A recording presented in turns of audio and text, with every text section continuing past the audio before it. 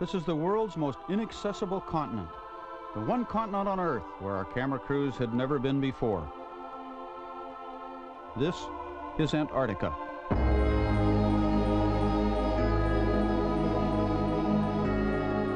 In late November, Antarctica's summer, cameraman Brian Sisselman and Bill Heath led an expedition to this hostile continent in search of extreme skiing.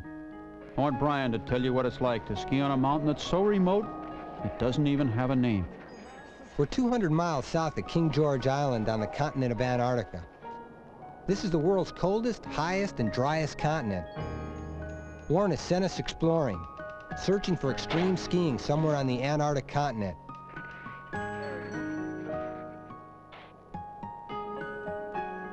Shelter's the most important thing for all of us. It's scary because the temperature can be as hot as 50 degrees in the sun, and on the shady side of the tent, 15 below zero.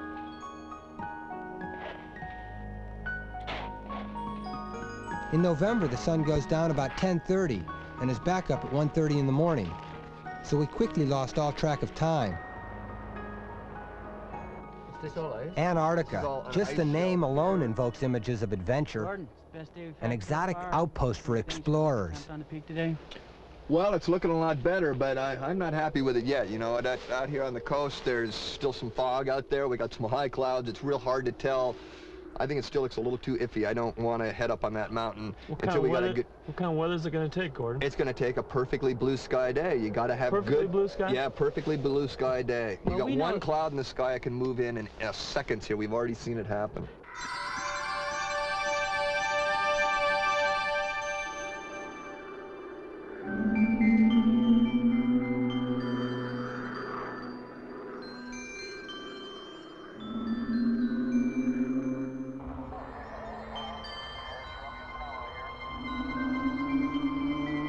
Some of those icebergs are a hundred feet high.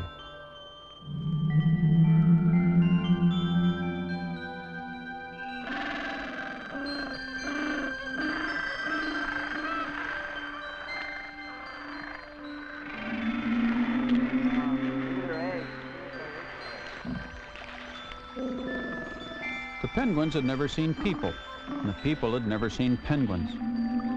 Neither one of them could fly. Penguins take turns. Dad sits on the egg while mom goes fishing. Then mom sits on the egg while dad goes fishing. That way, whoever sits on the egg keeps it wet and cold.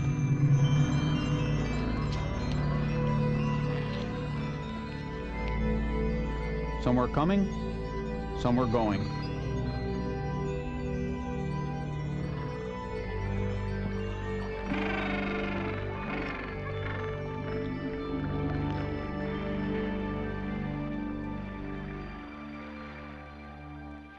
Kevin Andrews. Out here in Antarctica, a continent that averages 7,000 vertical feet, we got to be within reason in our own capabilities. Even though it's always fun to push your abilities because that's why you like to ski the extreme, for the excitement, the joy, the mystery. It was exciting, joyful, and mysterious for the next six days.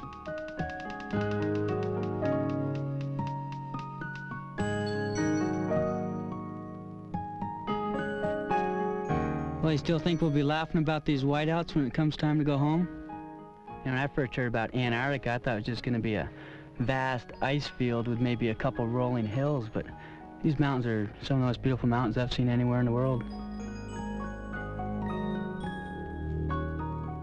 You know, it's amazing that uh, this day and age, there's still a place on Earth where you can go and no one else has been.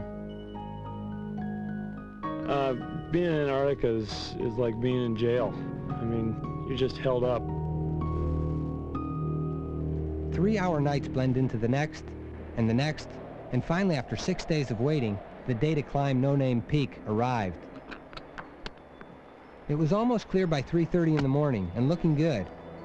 By 4.30, we set out for the summit, and left our ski tracks on a completely alien and unforgiving mountain where ski tracks have never been left before.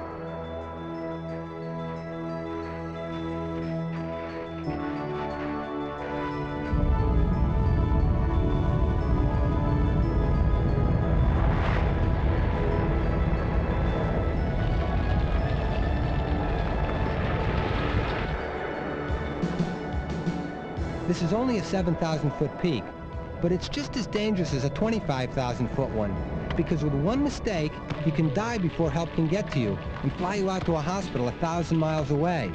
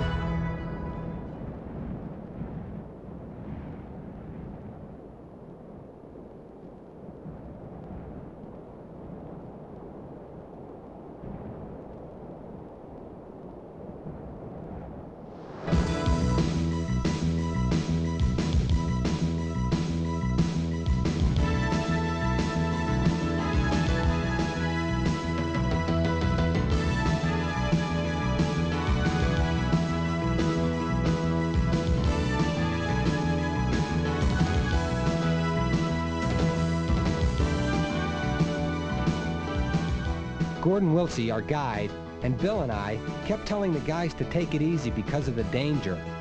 But would you, if you had flown clear to Antarctica to ski on an unnamed peak and have your every move recorded forever?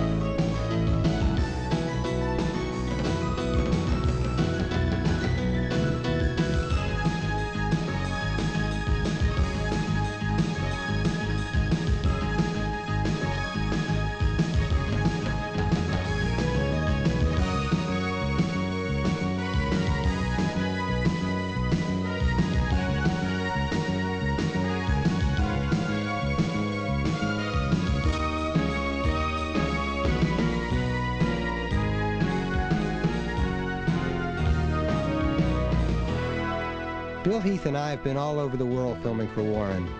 But the extreme skiing experience on this hostile continent, on an unnamed mountain with Mike Farney, Tom Day, Willie Vogel, Kevin Andrews, and Gordon Wiltsie, is an emotional high that I'll have for the rest of my life.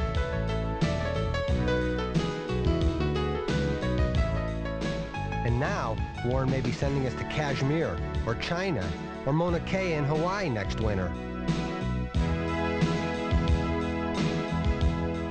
And now it's time to get back to the real world.